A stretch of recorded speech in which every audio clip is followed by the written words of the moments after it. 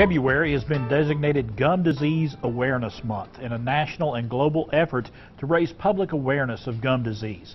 Gum disease, also called periodontal disease, is an infection of the tissues and bone that support your teeth. Dr. Dawn Gregg joins us this morning to talk about warning signs for gum disease and some treatment options.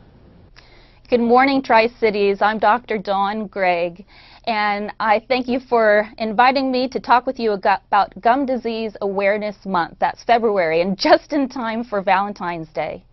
You may not realize it, but the gums are a very important part of your overall body, and when the gums are diseased, it puts you at risk for other problems too. Now, how do you know you have gum disease? You might notice bleeding gums, puffy, sore gums.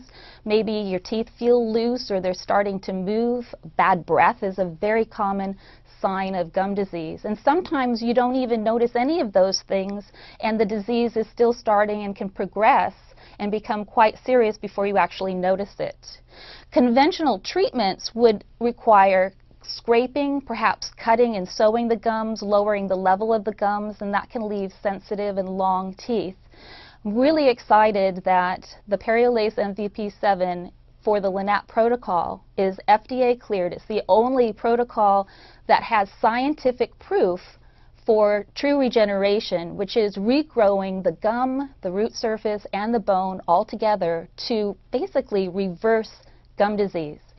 Now, it's not just about your teeth anymore.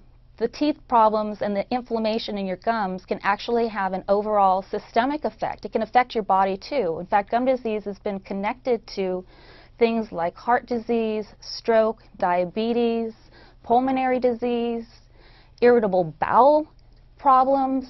It can be related to several cancers, even obesity, um, impotence, my goodness. And gum disease is contagious. So if your spouse has it, then you can get it too, and you can pass it on. So it's a, a very treatable problem if you have the correct tools to do so. Gum disease is important for you to know about and to treat to protect yourself, your overall health, and to keep you from losing your teeth. Now, even hopeless teeth that could not otherwise be treated with conventional methods have a chance with the LANAP protocol. If you'd like to learn more information, you can visit the website www.lanap.com or call 877-LANAP4U. That's L-A-N-A-P, for the number you, Y-O-U. Thank you for having me come and talk with you. The